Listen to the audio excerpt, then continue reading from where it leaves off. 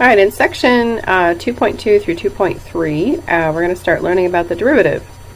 Uh, so where we left off was talking about the tangent line and how we use the limit process to get from the slope of the secant lines um, as we get closer and closer to a certain value that we're looking for, the slope at that value, uh, the limit process gets us there and it eventually converges to the slope of the tangent line.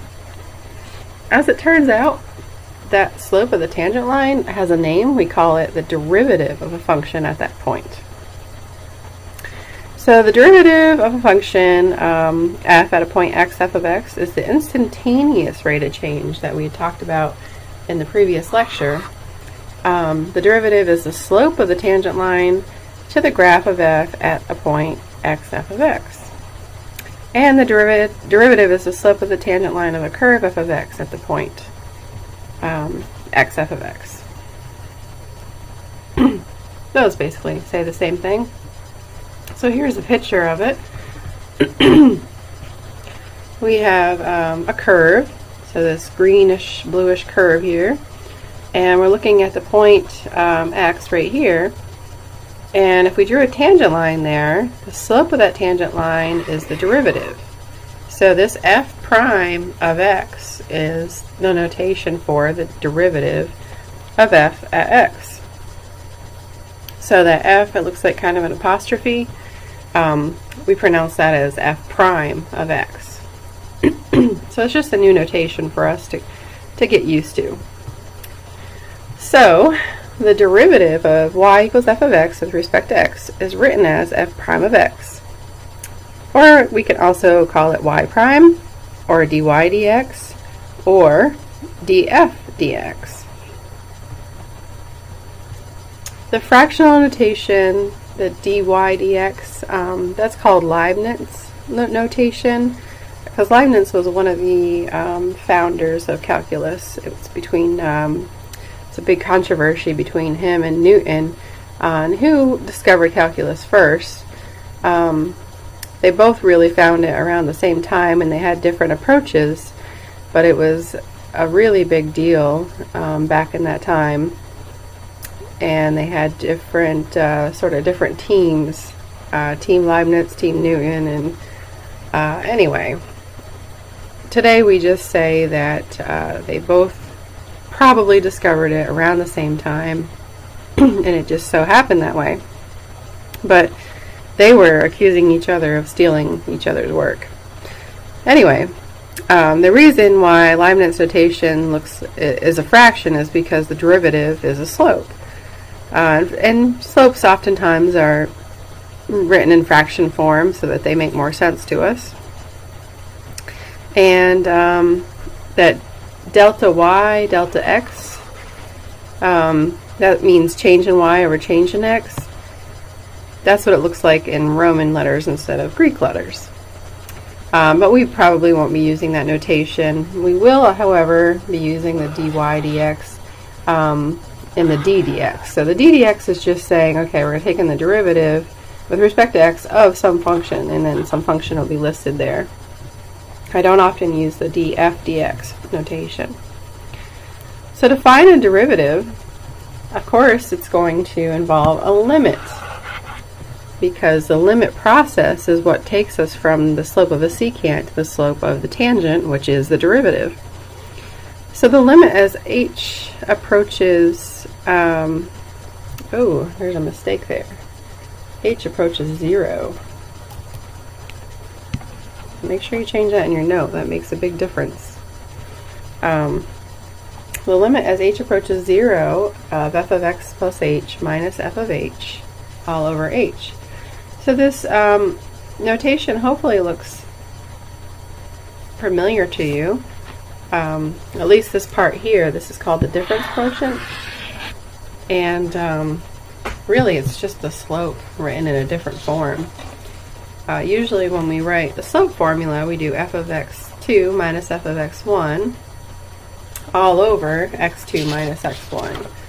And this is really the same thing, except instead of saying, instead of having two different points, we just say, okay, well, we have one point and we have um, the and there and then a second point, but the distance between them is h. So it's x, and then the point next to it is x plus h, and the difference between them is h. So instead of having x2 minus x1, which is the difference between the point, two points, we just call that h to simplify things, really. Um, so the, the derivative is going to be as this h gets closer to 0. So again, remember that, um, let me just really cross that out because that's a big deal. Remember we want the limit as h approaches 0. Alright, so h is getting smaller and smaller and smaller, meaning the second point, this x plus h, is getting closer and closer to x. And hence we get the um, derivative, or the slope of the tangent line. so the derivative can be approximated by looking at an average rate of change, or the slope of the secant line, over a very tiny interval. The tinier the interval, the closer this is to the true instantaneous rate of change, slope of the tangent line, or slope of the curve. All right, so we're going to use that formal definition of a derivative to find the derivative of each function. We will be learning new methods and probably easier methods on the next page, but we're responsible for knowing this method as well. So we're looking for f of, or f prime of x. Um, and we're going to be using the limit definition. So it's the limit as h approaches 0 of f of x plus h minus f of x all over h. Well, let's go ahead. I, I know what f of x is. That's the given function. Let's go ahead and find what f of x plus h is. So I plug our x plus h in, and I get 3 times x plus h minus 7. And that's just 3x plus 3h minus 7. And now if I plug that in, we have the limit as h approaches 0 of 3x plus 3h minus 7. We're going to subtract f of x. So that's going to be minus 3x and plus 7. Because when you subtract, you have to distribute to both terms. All over h.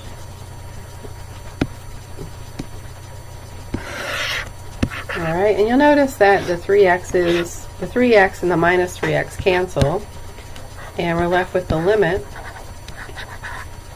as h approaches 0 of 3h, oh, the 7's also cancel, so we just get 3h over h. Well, the h's divide out, and you just have the limit as h approaches 0 of 3, and the limit of a constant is just that constant, so the limit of 3 or the limit as h approaches 0 of 3 is just 3, which is also the derivative of the function. Now you'll notice that the derivative of the function is the same as its slope. And that is not a coincidence. That's because this is a straight line with a slope of 3. So the rate of change, the instantaneous rate of change at any point on this line is always going to be 3 because it's a straight line. Alright, let's look at a more complicated one. So we have this quadratic. And again, uh, I think it's helpful to go ahead and start off doing f of x plus h. In the last lecture I said it's a good idea to memorize what x plus h squared is, and now you see why. So we get um, x squared plus 2xh plus h squared plus 3x and plus 3h. Alright, so let's uh, find the derivative, which is going to be the limit as h approaches 0 of x plus h, or f of x plus h. So that's all of this that we just found.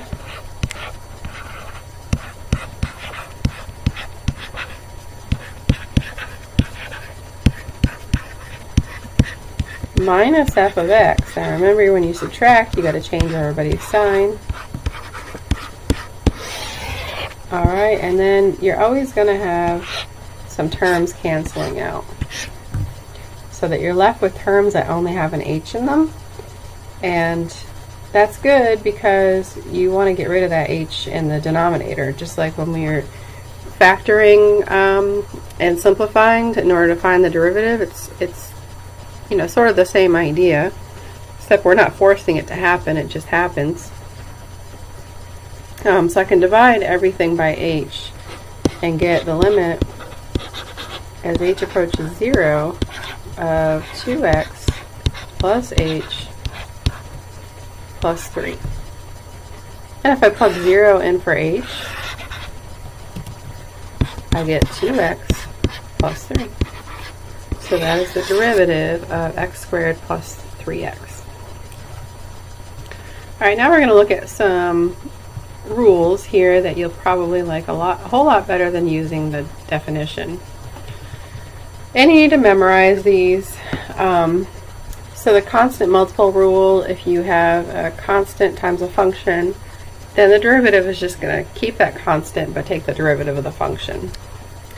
The sum or difference rule just says that if you have um, two functions added together, the derivatives are just the derivatives added together and likewise with, with subtraction. So um, this rule right here is, is, I mean, you're going to know that rule, but it's not something that you need to uh, worry about so much.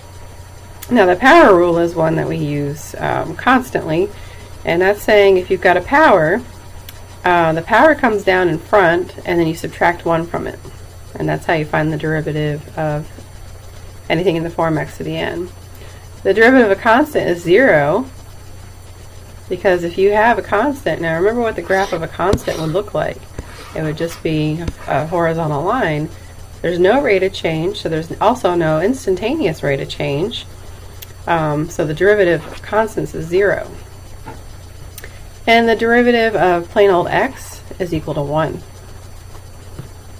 So you think about the graph of y equals x, the slope of that line is always 1, hence rate of, instantaneous rate of change anywhere on that line is going to be 1. Alright, so that's a that's a big one there, your power rule. You'll be using that a lot. Alright, and then exponentials. Now, uh, e is my favorite number, and here's another reason why. The derivative of e to the x is simply e to the x. It's the only function where its derivative is itself. Um, the derivative of a power um, or a base to a, well, it's an exponential function. So a to the x is ln of a times a to the x. And um, our last special case is the derivative of ln of x is 1 over x. So these are your three special cases that you don't treat like any other function. So just because they have powers, we're not going to treat them like these powers, where you take it down in front and subtract 1. Alright, so let's um, use these rules. So d dx, it means take the derivative of 5. Well, 5 is a constant, so that derivative is 0. d dx of x squared, it's a power, so we're going to bring the power down in front. That's a 2. Keep the x, and then subtract 1, we get 1. So it's equal to 2x to the 1 or just 2x. Here's using that sum rule that I told you about, but really, you know, you're just, it's sort of like distributing. You're going to take the derivative of both. For x cubed, you bring the 3 down in front, subtract 1, and you get 3x squared. And 2x is just going to be 2, because your power on x is already is, is 1, and if you subtract 1 from it, you get 0, and x to the 0 is 1. The derivative of 2e to the x is just 2e to the x. That's one of those special cases. ln is another special case. Um, so the, ln, the derivative of ln of the x is just 1 over x. But because there's that 2 out in front, we need to multiply it by 2. Alright, now this is the kind of problem that I will ask you to make it derivative friendly. And to make it derivative friendly, you're going to change it so it has an exponent instead of a radical. So the cube root of x is the same as x to the third power. Now I can use the power rule and get 1 third x And then the one, one third minus one is negative two thirds. And that negative exponent is just fine. You don't have to change that. All right, again, we want to take the derivative of each part here. So that's going to be 3 times 5, because if there's a number already there, you multiply it. It's 15, x squared, plus 3, and then minus 0, because the derivative of negative 14 is 0. This is another one to make derivative friendly, so it's going to be d dt of t to the negative ninth power. So it's going to be negative 9t to the negative 10 power. Remember, you're subtracting 1, so it's going to become more negative. All right, here uh, I want to make all of these derivative friendly, so it's going to be p to the negative 2 plus p to the 2 fifths minus 4e to the p.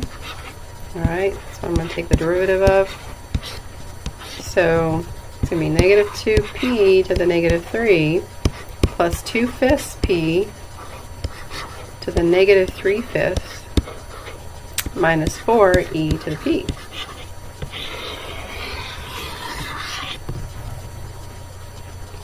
So another thing you can be asked to do is to find the equation of a tangent line.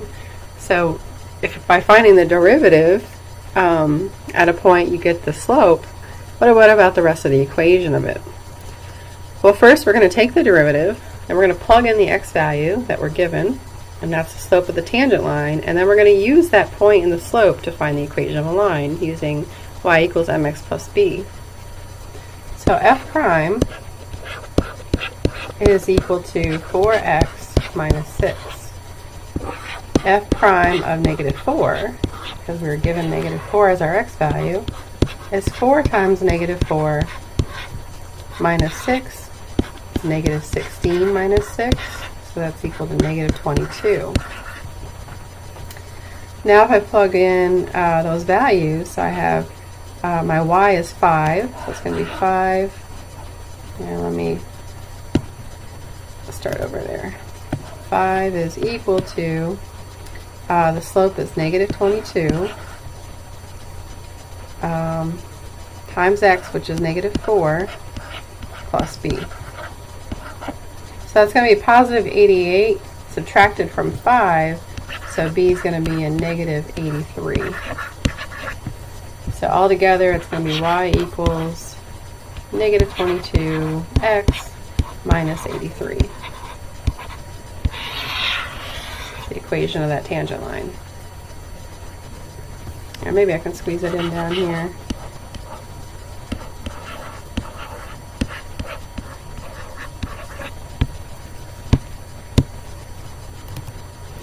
All right, and the second one, the derivative, is going to be 4, and that's going to be minus 7 e to the x. And if I plug 0 in, get 4 minus 7 e to the 0. Well, e to the 0 is just 1, so 4 minus 7 is negative 3. Alright, so using that slope and the point that we're given, we can find the equation of this tangent line.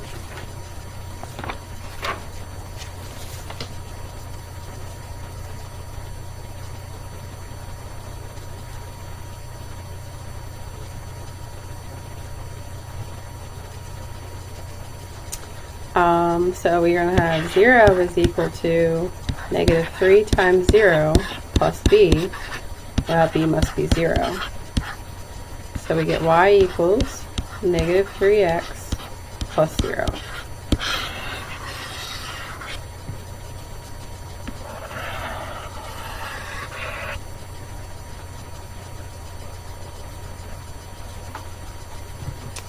All right, so um, what we've found here the equation of the tangent line. So if we have some kind of curve, um, I'll just make something up, and we want the equation of the tangent line right here, so I'll draw the tangent line. The derivative is giving me the slope right at that point, and then you have a point, so x and y,